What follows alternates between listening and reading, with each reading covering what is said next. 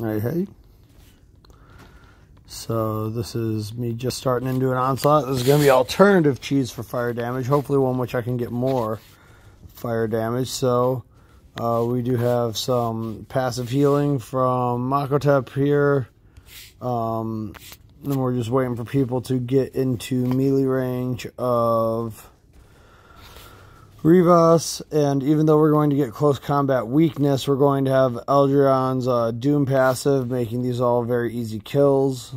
Um, and as you can see here, these units are working something more like uh, 481 health.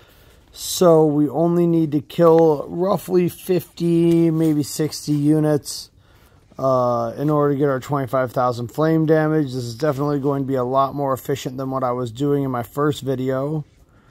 Um, I'm a little bit worried about my Makhotep right now, who I didn't think was going to have these issues staying alive. But we'll just hop over heal.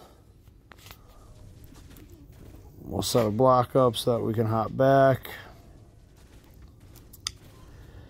And undoubtedly we'll just change the way we have this that Alf is in the middle so Alf can heal anyone he needs to.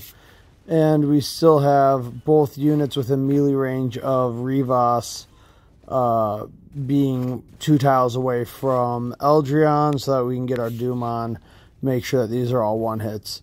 So just an alternative strategy to uh, using the legendary event itself. Um, a different way to and you could probably throw like Gibbet in here to give yourself another guy to repair with. Um, I bring Boss Golg because my Boss Golg is a uh, White Star hero. So I can honor him at the end and get a 90% chance of a legendary badge. So that's a sacrifice I make because that um, I brought him at the expense of bringing a second mechanic. So there you go. Hope that helps, guys.